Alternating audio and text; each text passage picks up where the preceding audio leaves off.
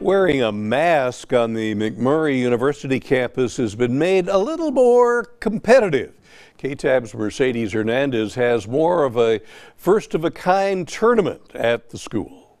McMurry's Mike Ezekiel and other staff members wanted to boost the mood on campus during the COVID 19 pandemic. You know, everybody loves competition, everybody loves to engage on social media, and we love to see it. So they crafted the September Madness Mask Contest, a bracket style tourney where online voters determine which Warhawks virus fighting fashion has the most flair or ingenuity. Our basketball coach, Zach Pickelman, he took an old sock and he cut the sock into a mask. Um, creative, I guess, is the word for that. For sophomore Kinley Stotts, the tourney is an opportunity to set a good example for younger students when it comes to face coverings. Being a leader and a role model, like to these kids, like I know you don't want to wear a mask, but like if I had to wear a mask, you had to wear a mask. Meanwhile, for Administrator Jeff Moore, he's letting his Coca-Cola themed mask share a deeper message. I like have a Coke and a smile. You don't get to see people smile.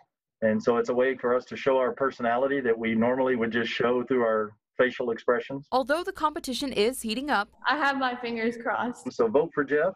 That's what I asked. These Warhawks are proud to do their part to keep others protected while turning some heads in the process. In Abilene, with coverage you can count on, Mercedes Hernandez, KTAB News.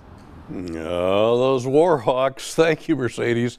You can vote. You can vote on the mask submissions every day this week on McMurry's Twitter page.